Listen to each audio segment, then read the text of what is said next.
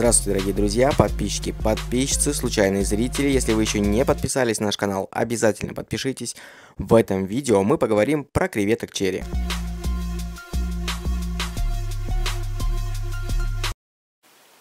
Здравствуйте, дорогие друзья, подписчики, подписчицы, случайные зрители. Если вы еще не подписались на наш канал, обязательно подписывайтесь. И в этом видео мы с вами будем делать креветочник. Для того, чтобы креветочник у нас получился удачный, нам необходим сам аквариум небольшой, ну, смотря, конечно же, насколько у нас, сколько у нас будет креветок. Кладофор шаровидная, рекомендую. Грунт, желательно корягу, и она сегодня у нас будет, а также яванский мох. И мы его запускаем с нуля. Первое, что мы сделали, так это прокипятили саму корягу и прокипятили Э, в течение часа грунт, который у нас будет засыпаться в данный аквариум. Теперь его можно немножко распределить по аквариуму. Конечно же, это не весь, да, это просто для примера. Дальше мы увидим, как все это будет происходить.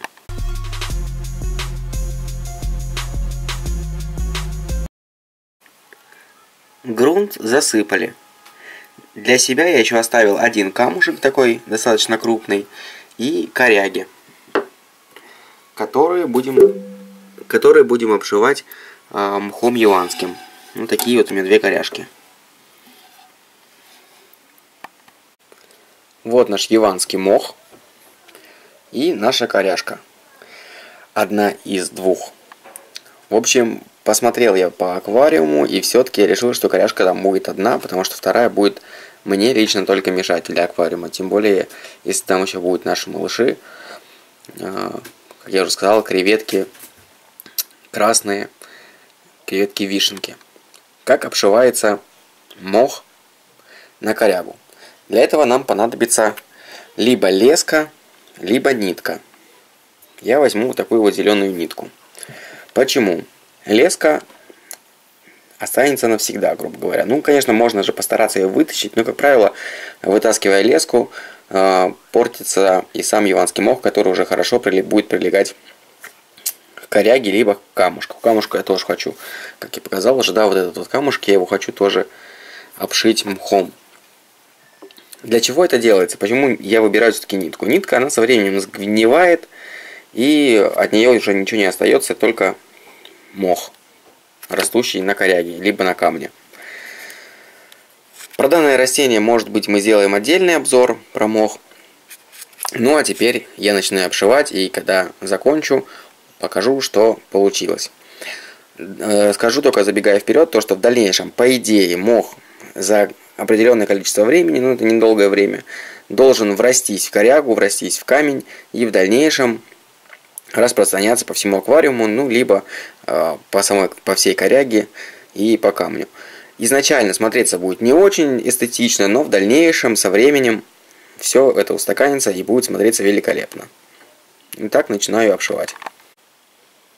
Вот, дорогие друзья, как получилось, какая у нас получилась коряшка. Благодаря тому, что нитки были зеленые, как видите, их практически не видно, они не, не приносят какой-то дискомфорт для глаза – Зато коряга уже выглядит такой немножко устаревшей. Но это же только начало, вы же понимаете, да, когда все это э, срастется, когда будет полностью уже украшен аквариум, будет смотреться все немножко по-другому, будет смотреться все еще и интересней. А вот с камушком получится менее эстетичнее, то есть не будет не так красиво, как хотелось бы. Вот так у нас выглядит камушек после обработки иванским мхом.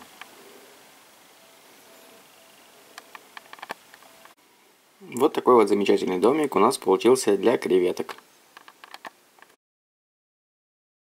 Это креветки не кардины, которых вывели путем отбора и усиления яркой окраски.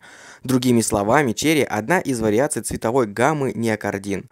В живой природе естественный цвет неокардин невзрачный, и это естественно, ведь благодаря этому они отлично маскируются. Логично, ведь с вишневым цветом в естественной среде им просто не выжить. Невзрачные неокардины были первыми креветками, которые появились в СССР. Однако со временем вишневые креветки или креветки черри заменили собой своих прародичей.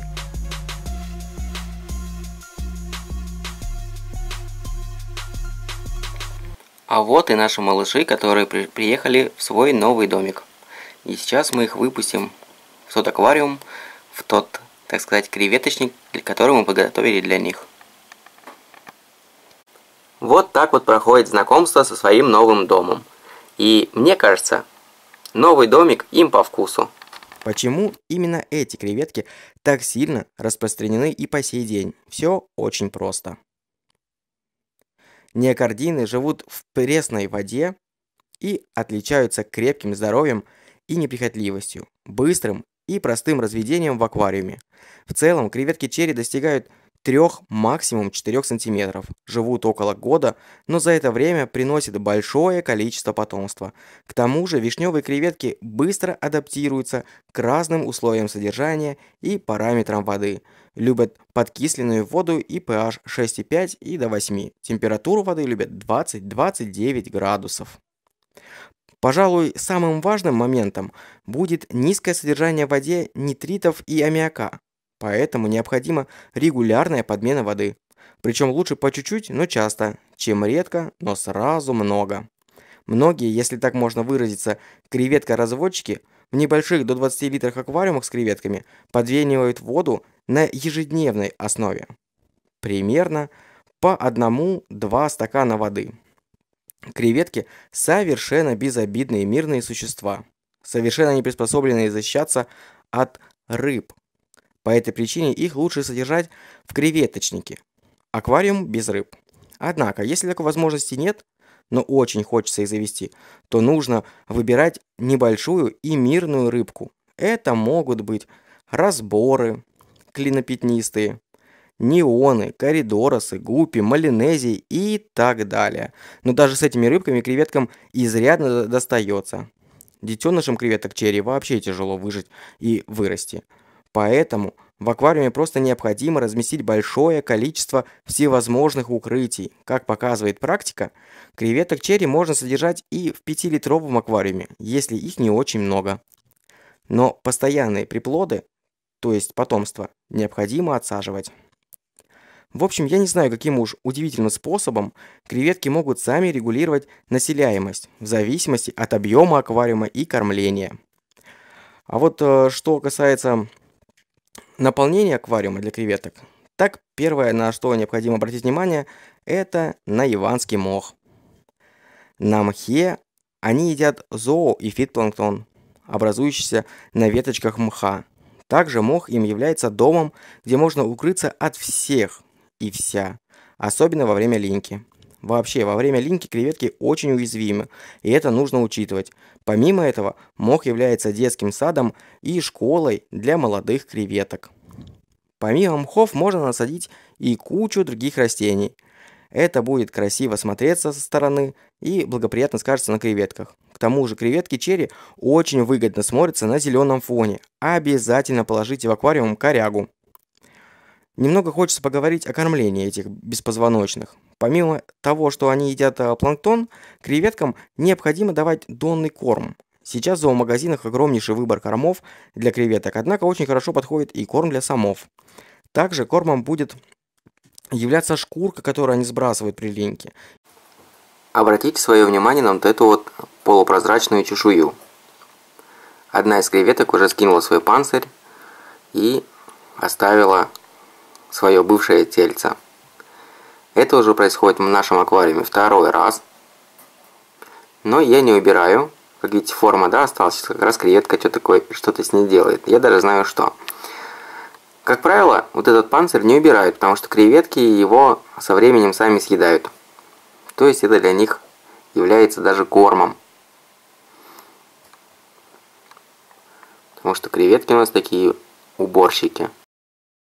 Ее не нужно удалять из аквариума. В ней, как и в замороженных кормах, содержится хитин, который так необходим этим беспозвоночным. Креветкам можно преподнести и деликатесы, которыми являются замороженные корма. Предварительно необходимо разморозить. Креветки являются падальщиками, или, как принято говорить, чистильщиками.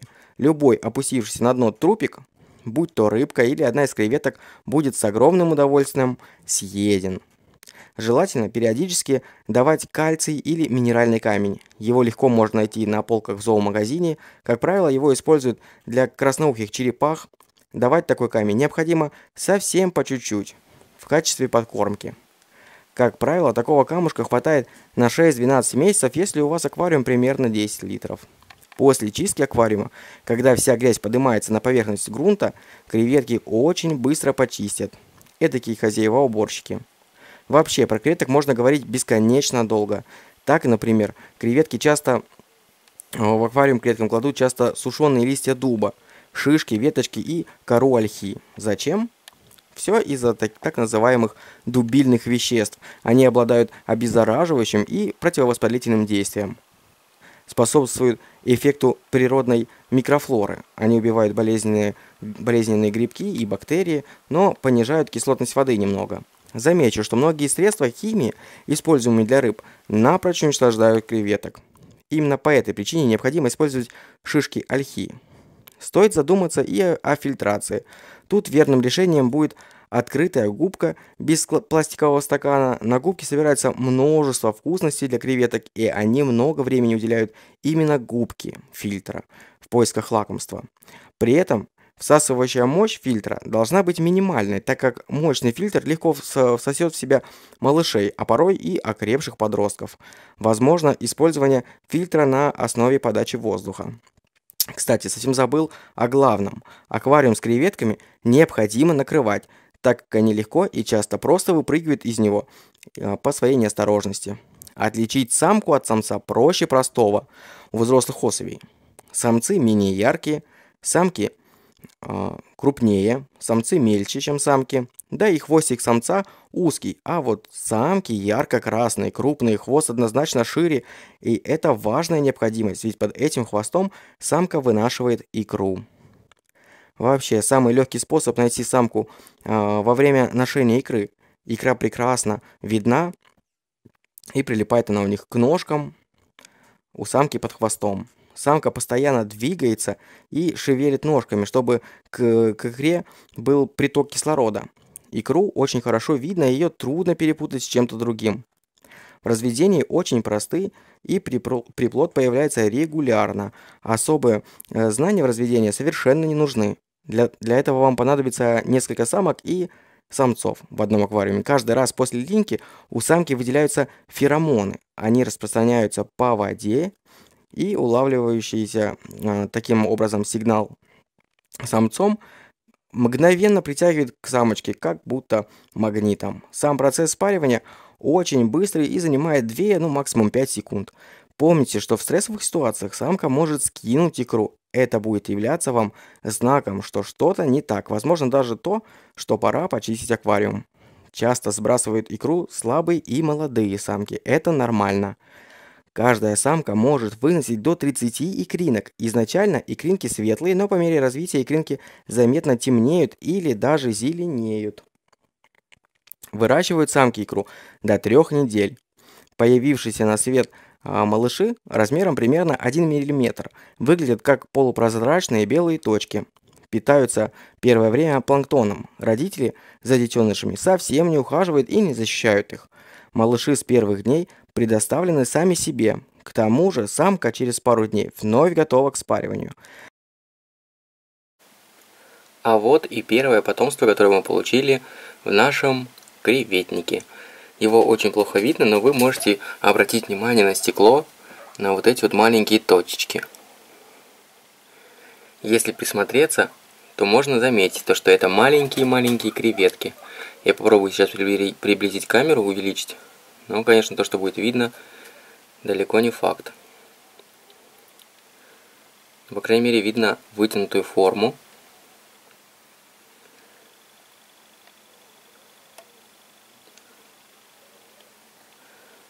Здесь их достаточно много.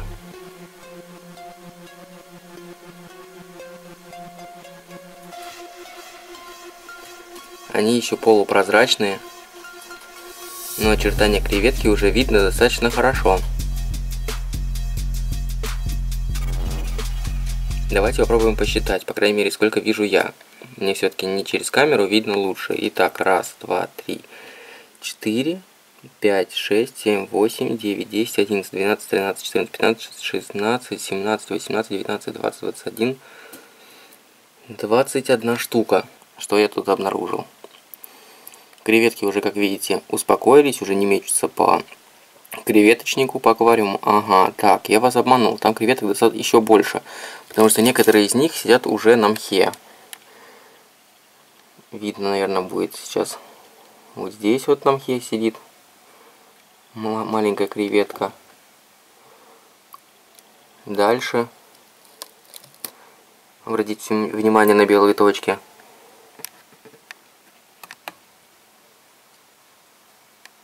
Это все малыши. Креветки ведут себя достаточно спокойно. Скорее всего, им домик все-таки понравился. Ну и мы дальше продолжим. Через день, через два покажу уже, что и расскажу, что случилось с новорожденными креветками. Ну вот, например, обратите внимание на вот этих мальков, маленьких э, вишенок. Как видите, они уже намного темнее, то есть цвет уже приобретают достаточно такой ярко-красный.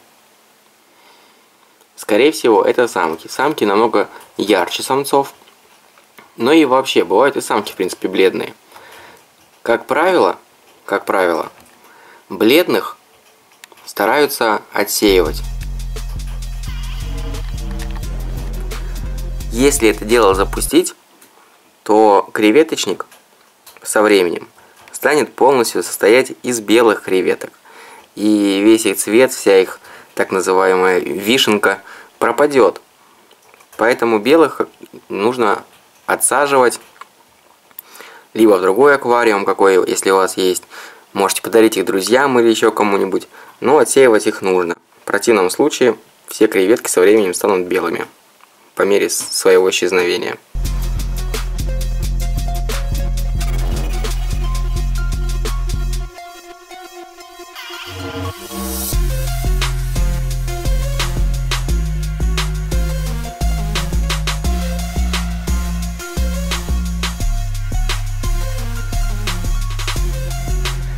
Есть люди, далекие от аквариумистики. И от креветок в частности. Когда они узнают, что креветки могут жить дом в дома, в домашних условиях, спрашивают, в чем прикол?